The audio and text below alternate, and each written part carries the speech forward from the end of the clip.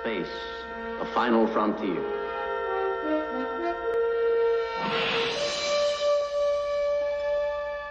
These are the voyages of the starship Enterprise. Its five-year mission, to explore strange new worlds, to seek out new life and new civilizations, to boldly go where no man has gone before.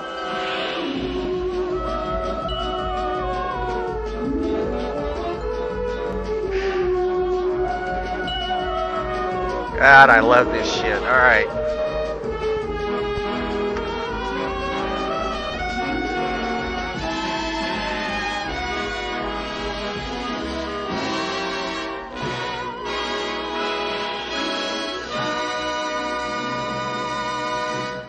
All right, welcome to the stream, everybody. Uh, this is uh, Star Trek Night. It's Star Trek Night in my uh, podcast, my pop culture podcast.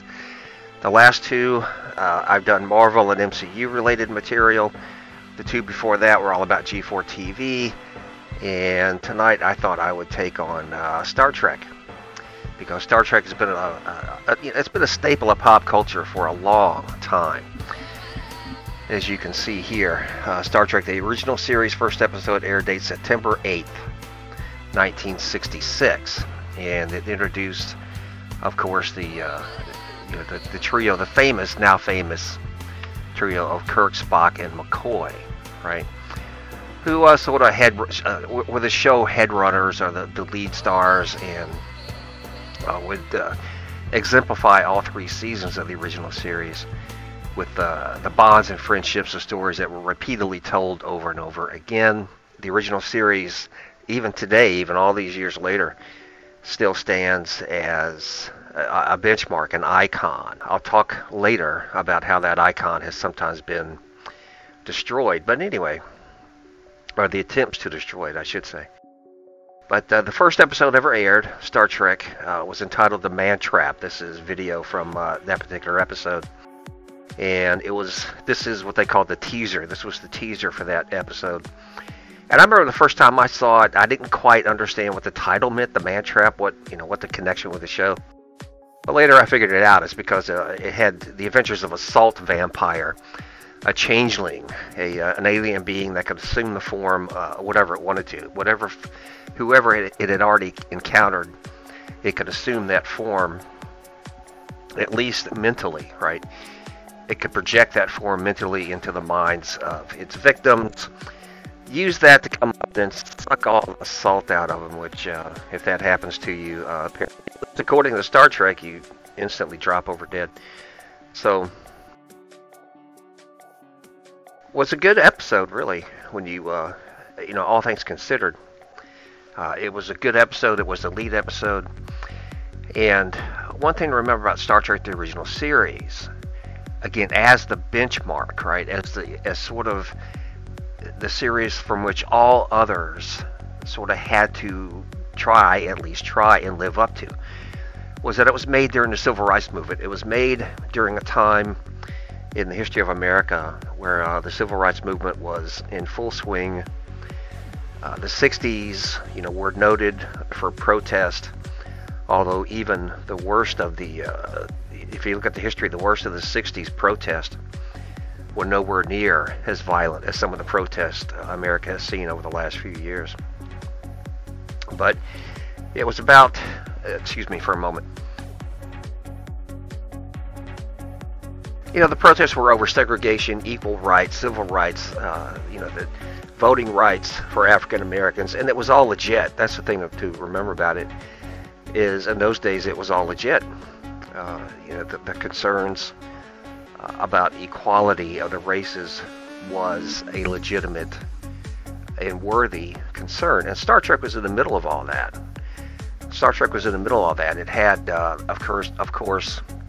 Let me pause this for a moment and go up here. Um, here you go. Star Trek: The Original Series introduced, of course, Lieutenant Uhura Alright, some time ago I did a trailer breakdown for Star Trek uh, Strange New World, which is one of the recent, more recent shows that has Christopher Pike as the lead protagonist. It's another prequel show. Given the time that it was aired, Star Trek, of course, cast the first African American female in a lead role. And this scene uh, I used in that podcast that I did, although I wasn't calling them, it was just a trailer breakdown. I used this scene before because this scene to me typifies the original series. It was intelligent, the writing was intelligent, uh, the actors played their roles almost. It, judge, you know, g- given that it was an episodic television serial, uh, they played their roles incredibly well. I guess is the best way to put it. So I want to show this again. Watch the interaction between Spock and Lieutenant Uhura because this is what typifies, this is what exemplifies the quality, the quality of the original series. Uhura, your last subspace log contained an error in the frequencies column. Mr. Spock, sometimes I think if I hear that word frequency once more, I'll cry. Cry? I was just trying to start a conversation. Well, since it is illogical for a communications officer to resent the word frequency, I have no answer. No, you have an answer. I'm an illogical woman who's beginning to feel too much a part of that communications council. Why don't you tell me I'm an attractive young lady? Or ask me if I've ever been in love? Tell me how your planet Vulcan looks on a lazy evening when the moon is full. Vulcan has no moon, Miss Uhura. I'm not surprised, Mr. Spock. All right, now that that little exchange between Spock and Uhura is truly. It, it, I've always felt that it is truly brilliant in a lot of ways. There's a lot of nuance here, uh, a lot of subcontext. Uh, you, you watch Spock, he actually turned the volume off, and uh, he gets, you can tell that he's getting uncomfortable simply by the fact that she's talking to him about emotional issues, right? He sort of plays with his uniform, and he attempts to shut her down by saying Vulcan has no moon, and she is his equal. She is his intellectual equal when she, you know, chirps back, I'm not surprised, Mr. Spock. It's just brilliant the way the whole thing is written, right? It's just brilliant. And that was sort of, uh, that was the, the beauty of the original series. Now, as usual, sports fans, when I go through this stuff, I'm going to make a point. I'm going to make a lot of points, and then toward the end, I will try to tie them all together. And I've sort of planned out how to do that. So bear with me. Uh, let me go back to my video here for a moment. So it was a turbulent time in the history of America, and Star Trek made, uh, as far as television went, right, as far as episodic television went, Star Trek made the first effort uh, to sort of approach the whole subject in context of a television show, and they did it in a way that got got past the censors of the time. They discussed relevant issues without really discussing the relevant issues. They hid it behind, you know, the, the science fiction storylines that a lot of people simply did not take seriously. All right, I will come back to this Star Trek: The Motion Picture. Um, then we go to Star Trek: The Next Generation. I think that's Deep Space Nine. Somewhere in here, I've got a Voyager. All right, well, never mind. I'll come back to that. Let's just uh, go back here. Now, this is Star Trek The Next Generation, which came along later. And Star Trek The Next Generation, which aired, uh, aired in 1987, I think it was, when the first uh, episode aired, 1987, had what you would call uh, a more diverse crew, I suppose. It was attempting to uh, be a bit more intellectual. and had a captain who was an accomplished diplomat as opposed to an accomplished warrior like Kirk, right? So there was a real dichotomy between Kirk and Picard in that, uh, you know, Picard was the consummate diplomat, always looking for uh, a non-violent way out, if at all possible. And as such, he was a bit more stoic, a bit more pompous, a bit more arrogant. And this is what I always thought was one of the most brilliant scenes from the next generation. Uh, now here you have Troi, Worf, Data, who's holding a phaser. Oh my God! And Picard, and, and, and the android is the only one holding the phaser. All right. And these are Slobovians or something, I don't know, from the planet. This is from an episode called Devil's Due. Now watch this. I expected my tenants to take better care of my property. Ardra, most powerful one. I am Jared, leader of Ventax 2. I take responsibility for all that displeases you. Please, do not punish my people. Punish? Who said anything about punishing? I merely expect your end of our contract to be upheld. Thank you, Ardra. And don't talk like some ancient prophet around me with these and thous and most powerful ones. It was appealing for a few centuries, but I bore easily. And stop cowering when I want you on your knees, I'll let you know. Much better. A fine example for the others. Who would you be? I'm Captain Jean Luc Picard of the Federation Starship Enterprise. Keep up the good work.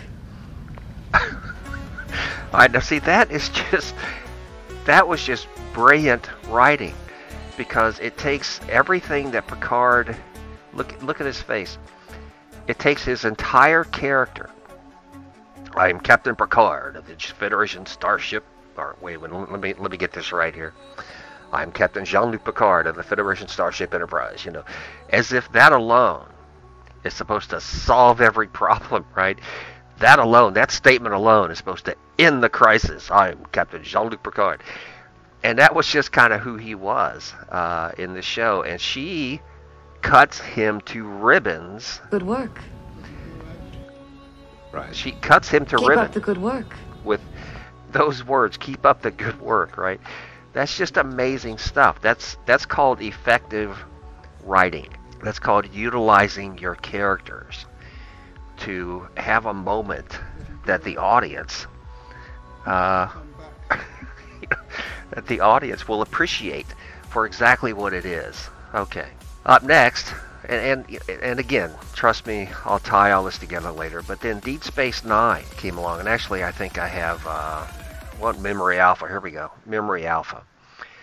Okay, for those of you uh, not familiar with uh, this particular website, uh, this is Memory Alpha, and it's a Star Trek we- uh, fan website where you can indulge yourself, you know, with all things Star Trek, right? And this is just the uh, header page for Deep Space Nine. And then they have uh, they have a character listing. They have an episode listing. You can click on any episode that you want.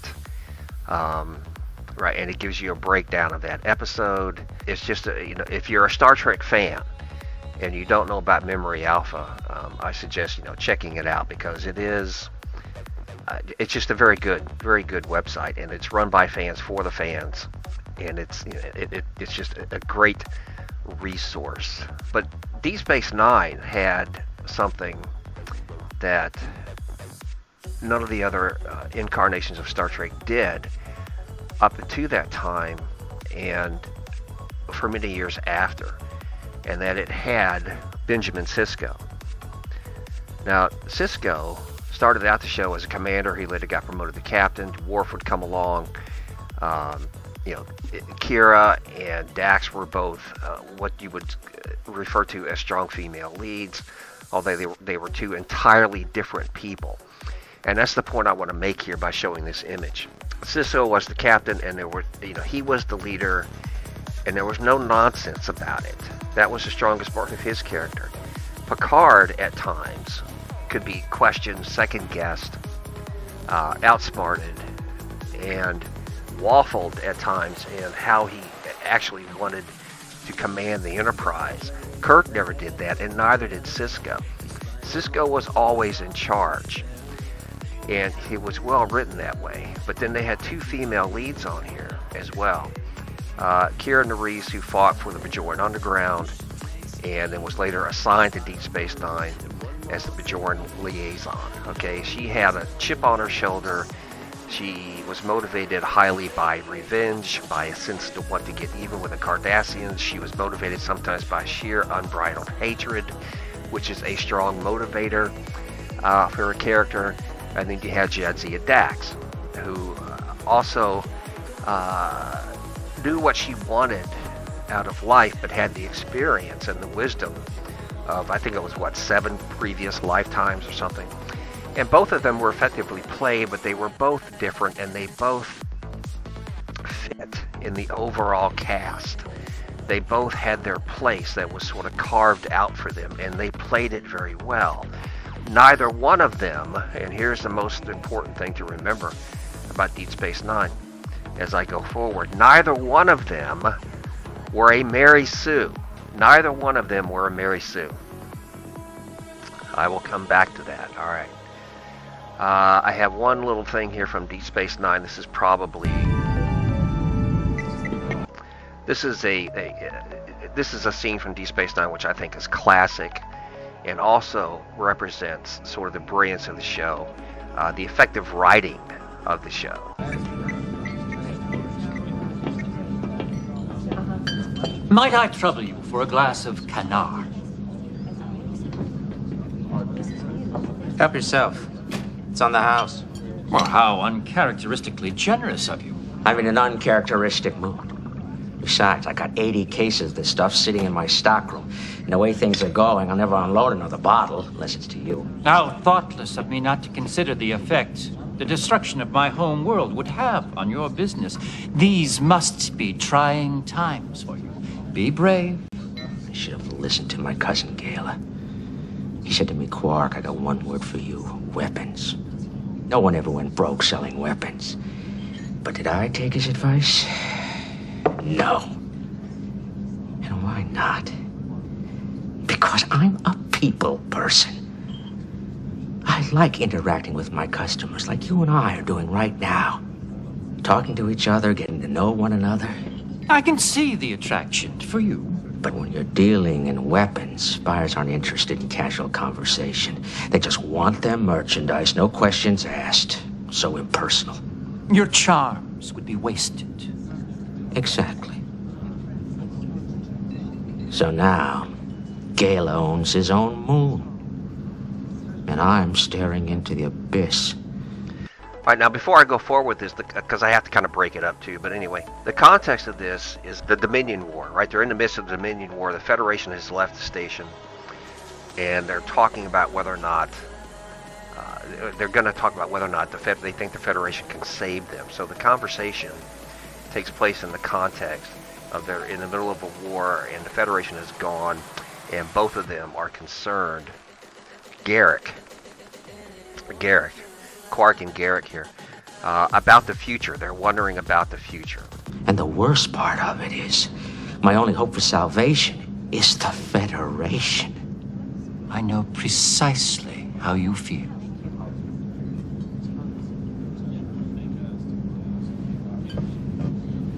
I want you to try something for me. Take a sip of this. What is it? A human drink. It's called root beer. Uh, I don't know. Come on. Aren't you just a little bit curious?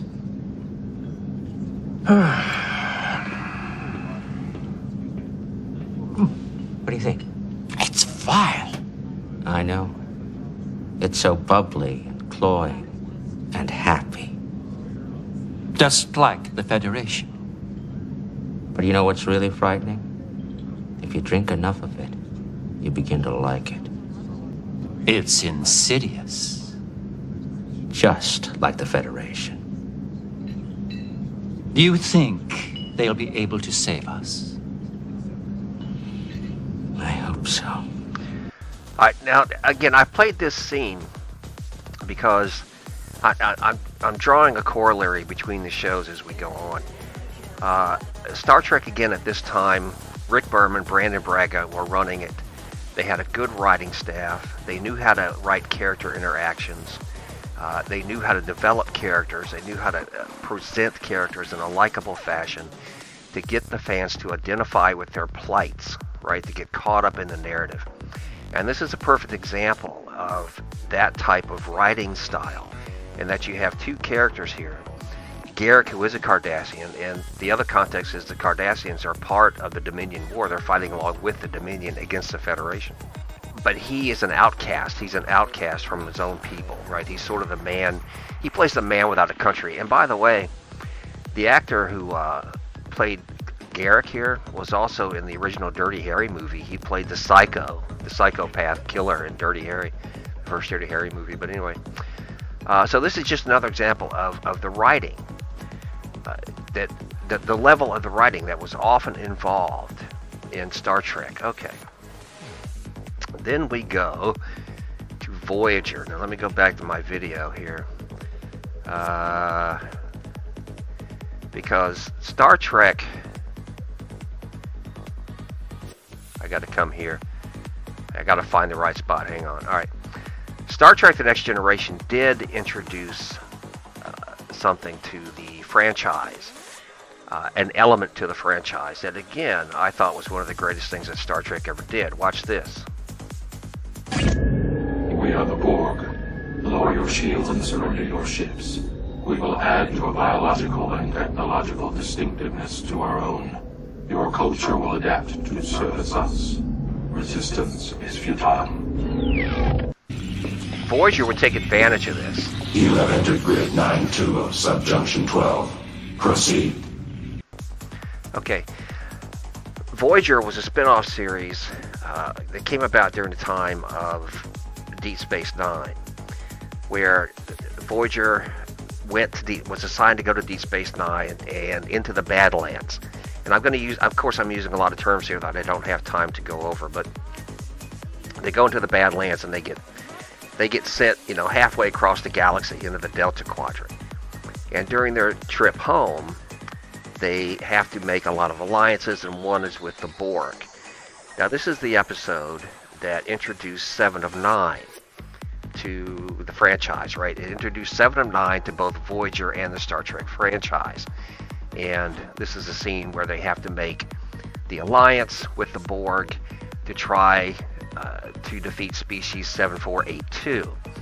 And 7482 lives in, a, in uh, a, not an alternate reality, uh, in another universe, another existence, right? Another universe, uh, which their phys- theories of physics, quantum physics, where their universes stacked on universes, just as they talk about in the in the Loki series in, in, in Marvel that I talked about a couple weeks ago. And species 8472 has been at war with the Borg for a long time. And so now they have enlisted the help of Janeway and, and, and her crew to help fight. Uh, they want to assimilate Janeway here. She talks them out of it, but says, give us a representative. Give us a single representative that we can talk to to act as liaison, right? And so they do. And they come up with, wait for it, there she is. Seven of Nine, or as we called her in the day, Seven of Boobs. And Seven of Nine was a great character. Now listen, let's see. This is the introduction of Seven of Nine. Now I want to play this part because I want I want to illustrate a point that the writers of Star Trek were also taking into account when they created this character and introduced her onto the show. Now, as you watch this next part, watch how Seven of Nine moves. Watch how she moves. I'm Captain Janeway. This is Lieutenant Tuvok. We are aware of your designations. What's your designation? Seven of Nine, tertiary adjunct of Unimatrix Zero One. But you may call me Seven of Nine. You are proposing a large-scale weapon. We concur. Okay. It was written and filmed in this way for two reasons. One, Seven of Nine is acting as the predator, right? Uh, very much so as the predator. Let me back this up and run it again while I'm talking here. Um, and she moves about them in this circular fashion to establish dominance, or the attempt to establish dominance, right? That's why she's walking around them. That's why she's looking at them off, you know, off the side of her face, uh, and she's presenting herself in this particular fashion. It's it's particularly written intentionally, I should say. It's intentionally written uh, into the scene for her to act this way, to be the predator archetype, and to try to establish dominance over Janeway and Tuvok. But there's another reason why the writers did it this way. There's a second reason why they did it this way, all right? They had her walk like this because the Star Trek writers of the time understood their audience.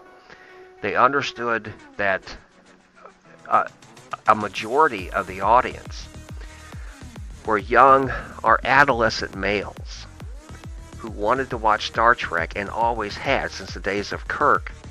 Not just because it was good science fiction, not be- because it was you know action oriented, but because they wanted to see babes walking around in a science fiction outfit. And that's exactly what the writers of uh, Voyager, the producers of Voyager, gave the audience. They gave them seven of nine, who sort of quickly became known of, as I said, seven of boobs. And why seven of nine? Why not five of twelve? Why not third of fifteen? Why seven of nine? Do I really have to explain that? Do I really have to explain why they chose seven of nine as opposed to uh, fourth of ten? You know, um, seven of nine is only one digit away from six of nine, and that's been parried. That's been parried, uh, parodied as well here and there across uh, the multiverse. All right, let's see. Now, seven of nine would also show up. Oops, sorry. Seven of nine would also show up in Picard. And I got to turn the sound back on here because uh, in a moment. Um, okay. So sorry about the interruption there, but this is from Picard. This is from Star Trek Picard. And Seven of Nine shows up in that series as well. And she's still connected to the Borg. And in this particular episode, she actually they go on to a Borg ship, and she has to be reassimilated, right? And so uh, she does this and that with a computer thingy, and all these spines come out and connect to her. And uh, she opens her eyes and says,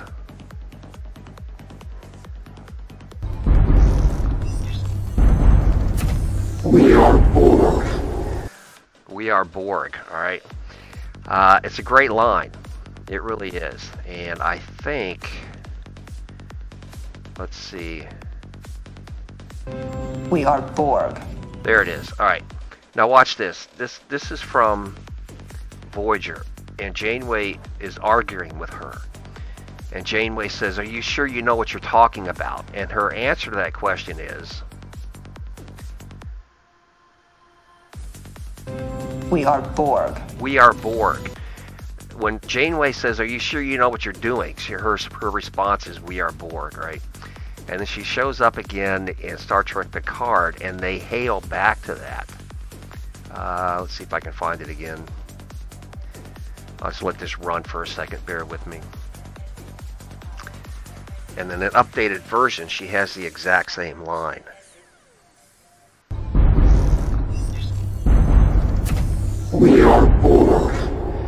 So there's an element of the writing that survived into present day.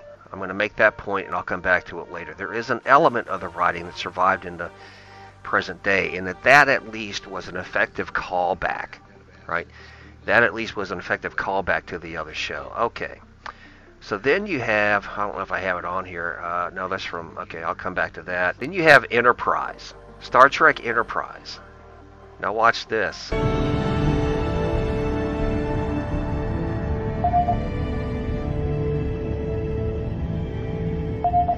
Someone gotta get that. You're closer.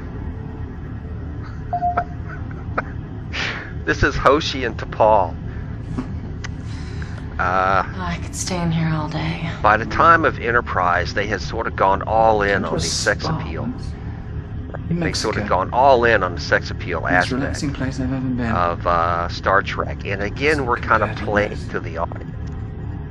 Um, oh, it certainly and I gotta to be clean admit, again. and Hoshi and T'Pol It is pleasant. were two of the prime reasons why I watched uh, Star Trek You Enterprise. Why I watched the show was because of these two babes. I don't smell anything. And there's a later episode, I think it's season three, or four. I, think, I don't know. Where, where they actually they get into a fight with each other, right? They get into a fight with each other, Hoshi and T'Pol, and it was, you know, again, it was just sort of fan service. What's this? Save it, Commander. The schematics you downloaded, where are they? Schematics.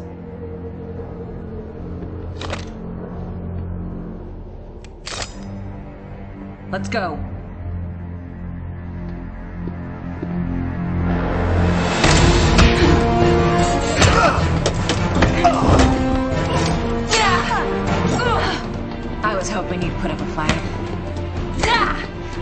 Surprised you're not exhausted from all the beds you've jumped into recently. Commander Tucker told me I should give you a few pointers in that area.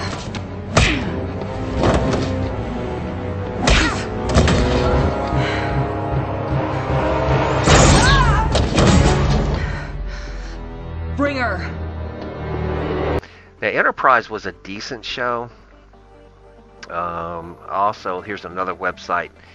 Uh, this is called this is TrekCore.com, and uh, again, if you're a Star Trek fan, you can go to TrekCore, and they have still images from every show ever aired. You know, they break the whole show down in still images. And uh, let's see. All right, this is from uh, an episode entitled "A Night in Sick Bay," where again you have Hoshi and T'Pol in the decontamination chamber, and they're rubbing some kind of gel all over each other. And excuse me, the uh, it's kind of effective imagery, right? It's kind of effective imagery until you get here, and they're having to rub the dog, and that's where that's where the imagery kind of failed for me. But anyway, um, TrekCore.com again has all this. Uh, every episode that there is broken down this way. Uh, all right. Now, as all of you know, and I'll bring my little video back up again uh, and let this run while I'm talking. As all of you know, with the exception of the movies, Star Trek, when Star Trek Enterprise went off the air, there was a bit of a hiatus from television shows. And, you know, there were a number of years where there were no television shows. And only, uh, you know, only various Star Trek movies were being made over time. Um, eventually, one of which was Star Trek Nemesis, right? I knew there was something here. Anyway, Star Trek Nemesis came out December 13, 2002. And Nemesis was the last next gen uh, movie, the, the last next generation feature film uh, that was made in that particular series. And this is a scene where Shin- Shinzon is after the Enterprise, and they have the big space battle.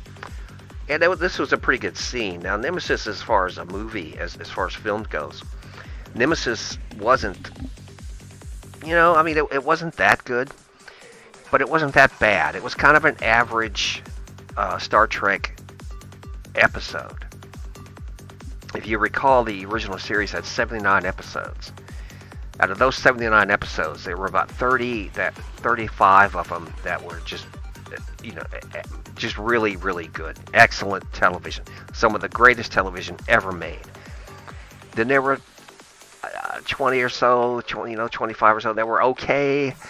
And then they had some real just insidious most of them in the third season that were just insidiously bad. Star trek nemesis here was a decent movie. It wasn't a bad movie. It was a decent movie it wasn't great.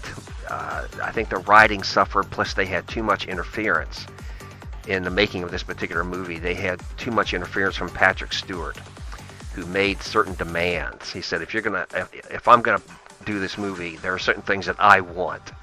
The whole car chase scene that was in this movie was just because of him. He demanded it, so that's why they had to put it in, right? Okay. But let's see here. Look at this. Now, this is a list of movies from two, uh, 2002, which was when Star Trek Nemesis was released, which shows what they were up against. 28 Days Later, which was an excellent movie. The Ring, which was a pop culture favorite. Harry Potter and the Chamber of Secrets came out in 2002.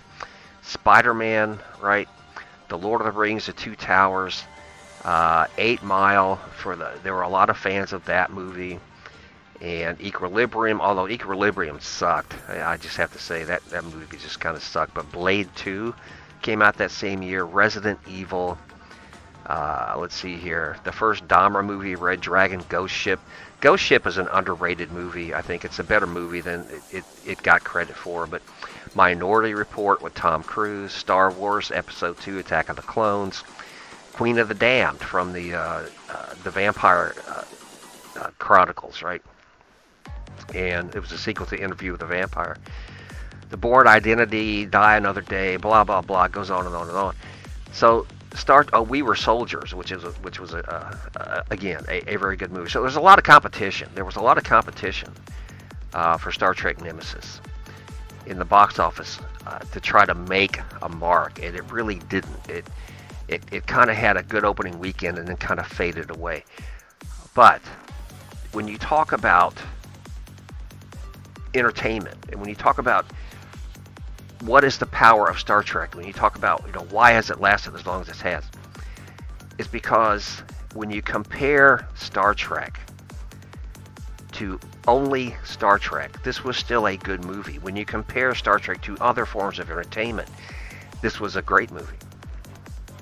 It certainly held its own with most of what Hollywood puts out, right? Because also on this list is uh, things like Treasure Planet and Insomnia, uh, Men in Black 2, you know, The Sum of All Fears, which was crap, The Scorpion King. I mean, when you the hot chick, give me a break. I mean, who went, you know, who who actually went to see this fracking movie? Okay, so Star Trek always had that ability to hold its own, right? It always had that ability to hold its own. Oops, that's my Discord page.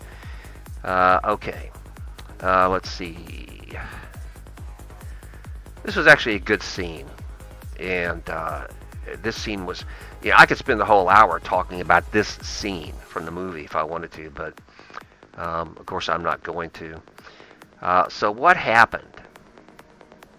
Now, let me check real quick and see what else I got up here while this runs that I don't want to miss. Um,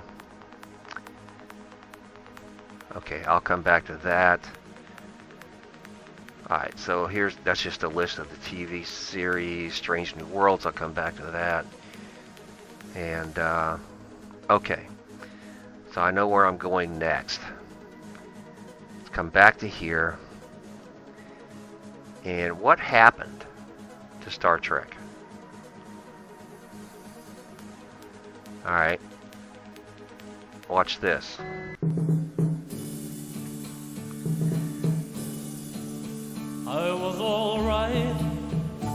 For a while. I could smile for a while. But I saw you last night. You held my hand so tight as you stopped to say hello. Oh, you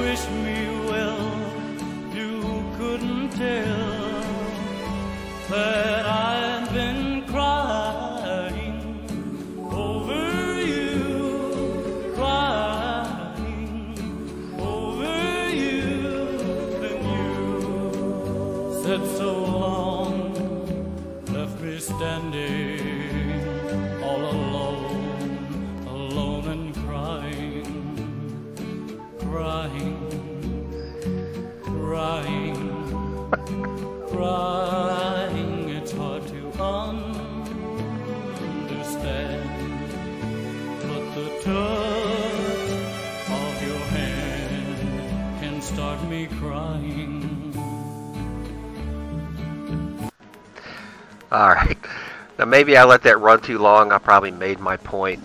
But somewhere along the way, people made the decision that Star Trek wasn't representative enough.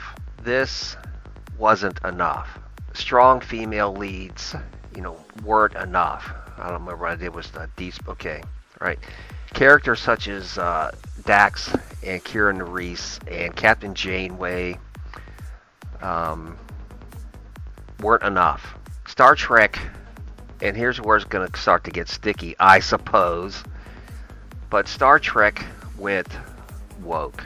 Star Trek went woke. This is from Discovery. This particular scene is from Discovery. Star Trek Discovery. All right, watch this. The stress signal must include an encoded message of some kind. Uh, Adira can write an algorithm that can find and decode it. How long will that take? Not more than a few hours. She's pretty fast. Update me the moment you have something, Commander. Of course.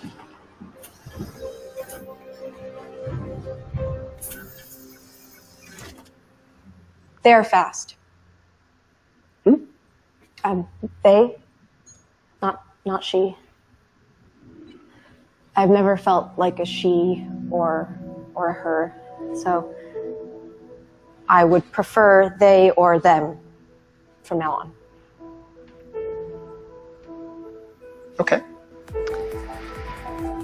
Aye, aye, aye. All right. The defense of this has always been that Star Trek, like everything else, has changed to reflect the times. Uh, but I made this point when I did the Strange New Worlds trailer breakdown, when they had the scene with the uh, where he's riding through the snow on his horse, and they're in the 23rd century, and he's got a couple of electric windmills out in his yard at a time when uh, fusion reactors are as small and as common as microwaves.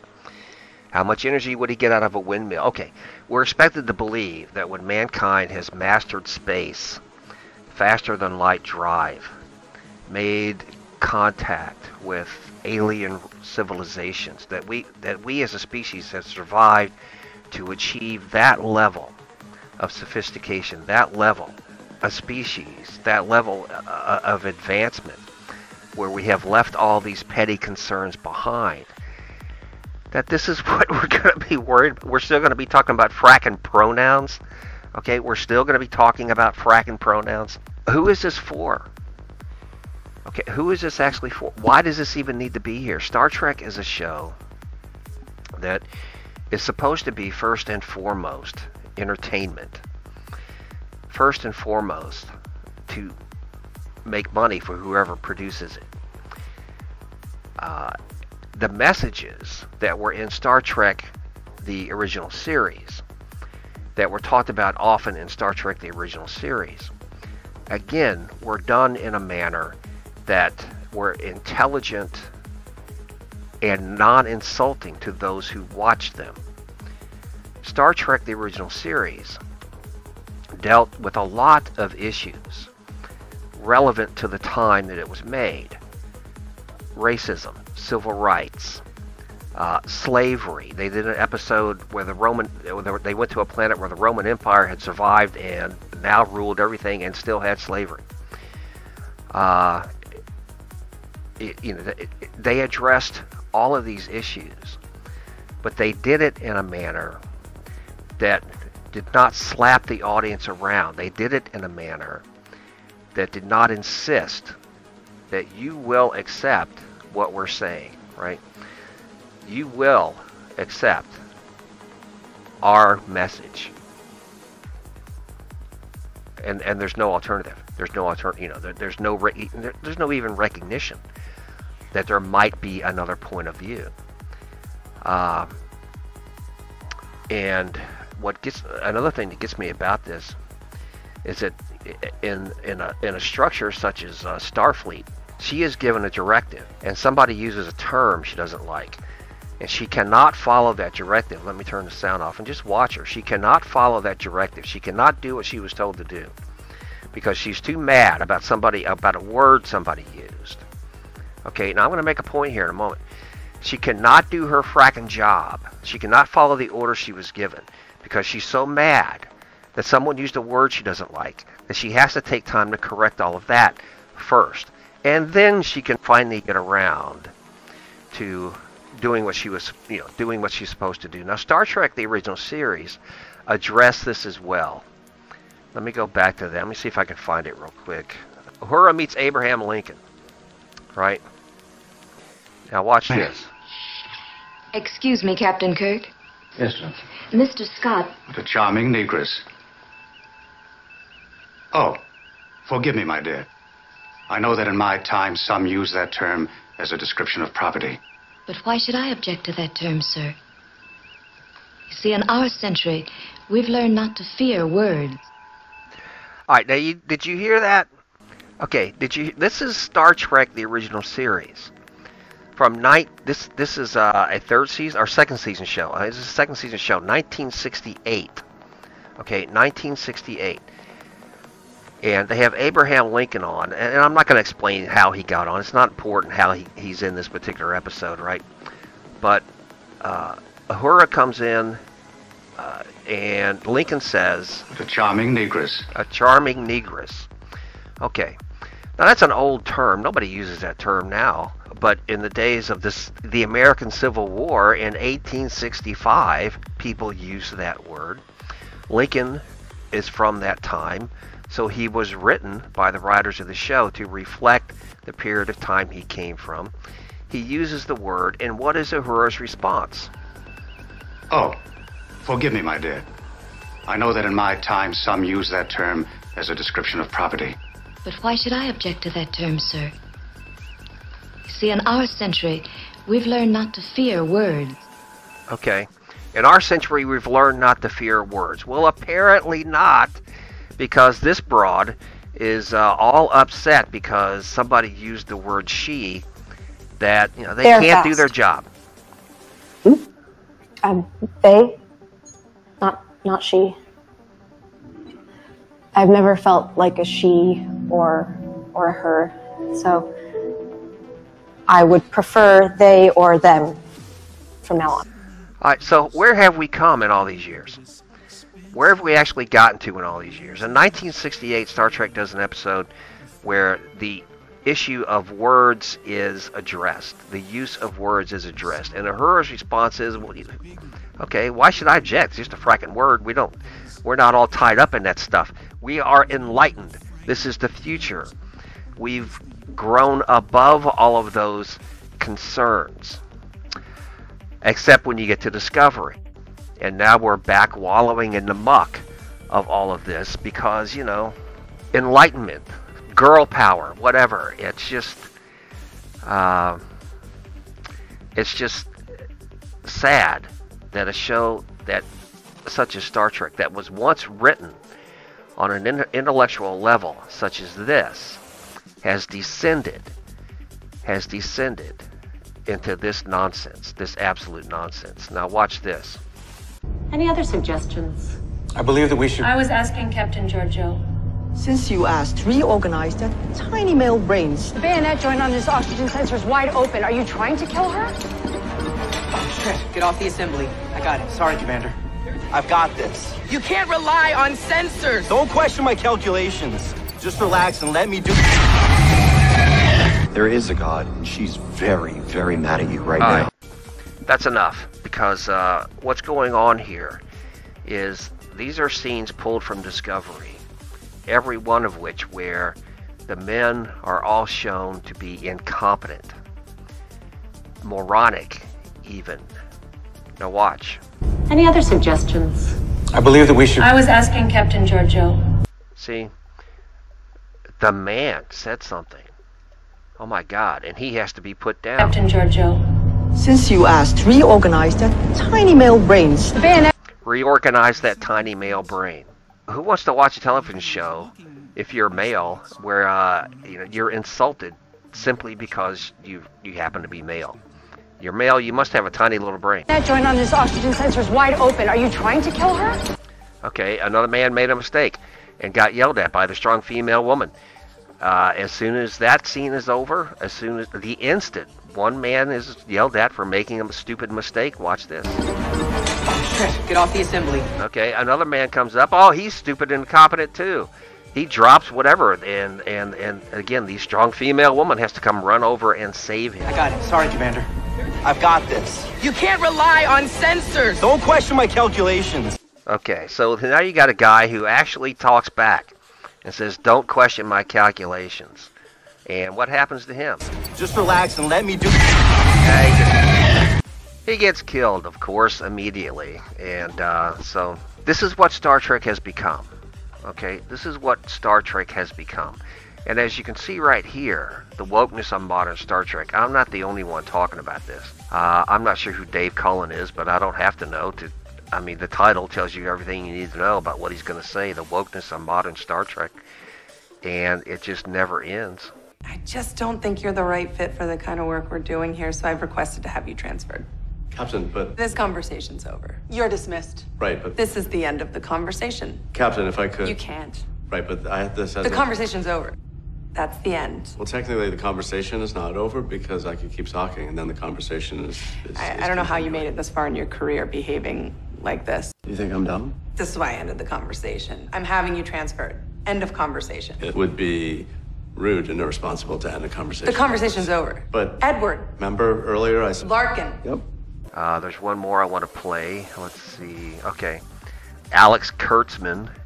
Alex Kurtzman is the architect behind much of this.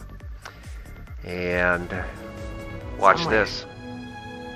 Along this journey, we'll find a way back. Mr. Paris, set a course for home. Aye, Captain.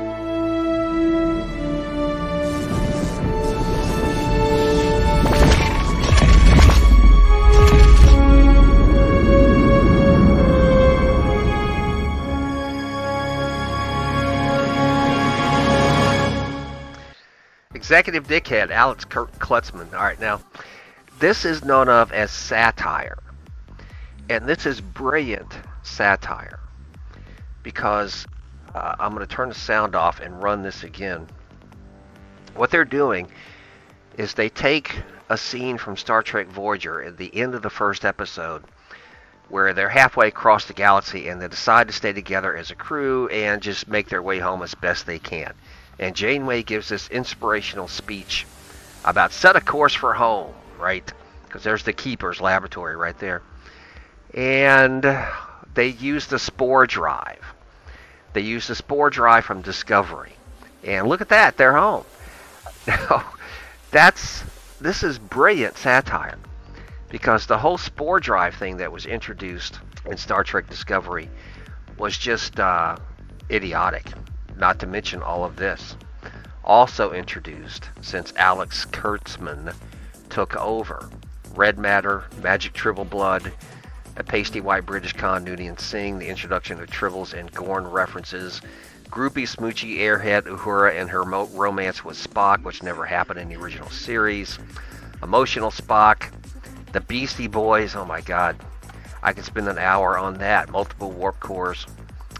Uh, anyway, all kinds of idiotic uh, plot devices, which were very, you know, which, were such MacGuffins or such poor plot devices, whatever term you want to use, that just reflected poor and lazy writing.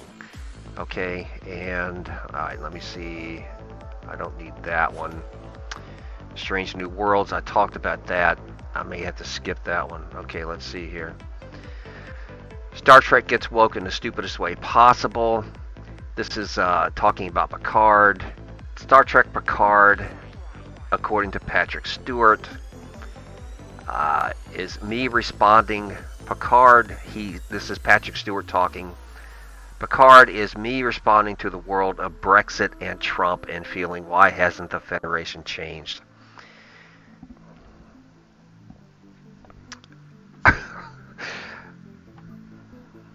How to shoot yourself in the foot. How to shoot yourself in the foot. I mean, uh, seriously, you got to take you know, Star Trek Picard, a television show that, in one regard, was what fans were waiting for for a long time. Another Star Trek show that was set in the future, as opposed to all these prequels that were set in the past. Prequels which changed everything that was established, especially in, in by Kirk, Spock, and company in the, the original Star Trek. Okay, Star Trek Discovery stars respond to woke controversy. There's a line here. I do think, okay, Dr. Hugh Culber, whoever the hell that is, I do think that, you know, Star Trek is always a reflection of the times in which it's being made. I don't think any of us can deny that. All right, now, in some regards, that is a valid point. Because as I talked about before, Star Trek does, and always has, sort of taken on issues. but they didn't use those. They did not use the show. The difference is Star Trek Dis- Discovery is a show that is being used as a club. Star Trek: The Original Series, The Next Generation, uh, Deep Space Nine, and Voyager, and Enterprise were all shows that addressed messages in an intellectual fashion and sort of a backhanded way that everybody knew what they were talking about, but they didn't beat you up with it. Star Trek Discovery, the, the entire show is used as a club to beat the viewers over the head with the message. That's the difference. That's why people are, uh, you know, that's why people uh, are complain or have criticized the show because Discovery is used as a blunt instrument. He says here, certain parts of the fandom bemoan the lack of cisgendered heterosexual white men in the cast. In fact, by season three of the series, there wasn't a single cisgender and heterosexual white male character in the regular lead cast. Well, yay for diversity. Okay, God forbid a Star Trek fan uh, would turn on a Star Trek show and there be a white male cisgendered man. I mean, how you know how how could you? How could you? It's just, and they wonder why the ratings. Let's see, I've got one. I'm on the ratings here. Star Trek Discovery's ratings are a disaster, and that's true. Okay, that's true. Star Trek's uh, Discovery's ratings are a disaster, and the premiere averaged 1.7 million viewers overall and only scored a 0.2 rating. Most shows that has 0.2 rating would be off the air by now. But they did take it off of Netflix, but it's on CBS All Access. And because it's off of Netflix, very few people can even watch the thing. So why is it still being made? Well, there's an answer to that too. But I'm starting to run out of time here, so there's a couple other things I want to talk about. But sometimes the best Star Trek isn't Star Trek. This is Galaxy Quest. All systems are working, Commander. Jason, before the black hole, there was an energy surge from Cyrus's ship. Let's not worry about that right now, Alexander. Fred, what are you doing up here? Shouldn't you be downstairs until we just. Hey. You know, you could put an eye out with that thing. Fred?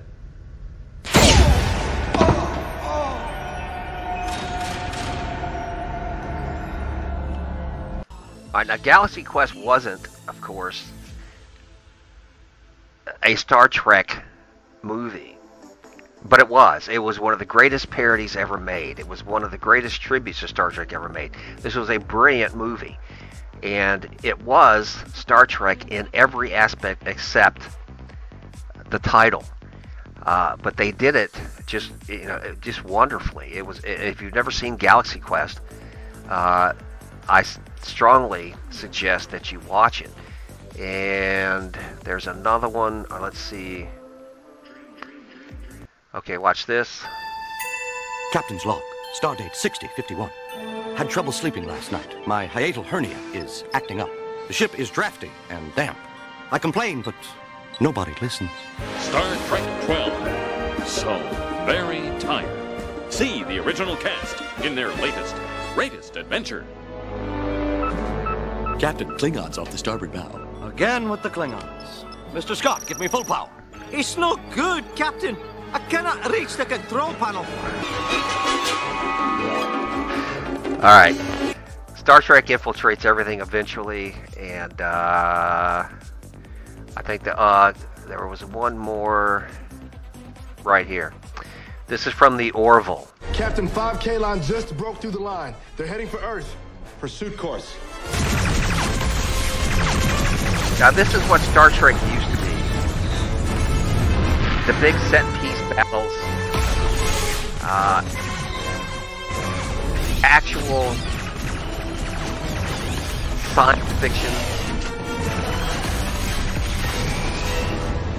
A television show made to be entertaining, even if it is just a lot of CGI eye, uh, eye, candy. And this is from a show that's meant to be a comedy. The Hawking has been destroyed. This is a show that this particular show, as you may know, was originally designed to be a comedy, uh, a comedy spin-off, a, a comedic look at Star Trek. All breaches on decks E and F. But it has grown into this. And the truth is, if you want to watch good science fiction for entertainment value, let me turn the sound off here.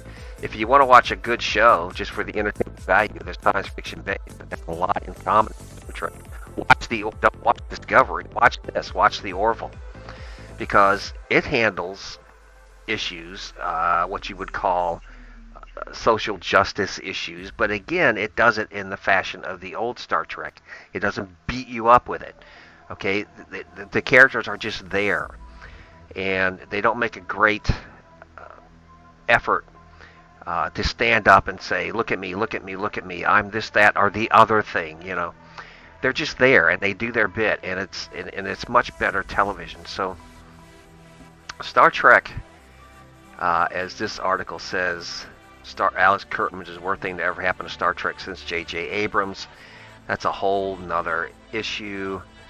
Um, J.J. Abrams at least knew how to uh, film an, a good action. I mean, J.J. Abrams, I thought, was absolutely the wrong choice to uh, direct a Star Trek movie, but he at least knew how to film an action sequence, right? Like this one here from the uh, original Star Trek movie. The from the Kelvin timeline, I should say, not the original Star Trek movie, but uh, from the Kelvin timeline. This was a, uh, a this was a good, very well done scene uh, from that particular movie. But slowly, uh, slowly but surely, slowly but surely, Star Trek, like everything else, uh, that's that isn't uh, protected, I suppose. Like every other pop culture uh, item, has been corrupted and is being corrupted, and it's being turned into you know, it's being turned into moments like this, as opposed to having a moment on television, uh, such as, well, let me bring up my video again. Um, this is also from Deep Space Nine. Alright, this is the Klingons, which were my favorite race in Star Trek. And as opposed to having moments like this, where they, there are epic space battles where there's conflict between uh, characters that you care about, characters that you want to see succeed, as opposed to that, you know, we get this, you know, we get this. Uh, I don't feel like a she. Make sure you use the right pronouns. And it's just, it's just sad. Uh, it is. It's just incredibly sad. Um, because this again from Deep Space Nine, and you notice that uh, in the middle of the fight here, Kira uh, isn't correcting Sisko on how to address her. You must, you know, you, you, I, I'm a, I'm a Bajoran. You have to say that first. Then I'll do what you want. Okay. I guess I've made my point. All right.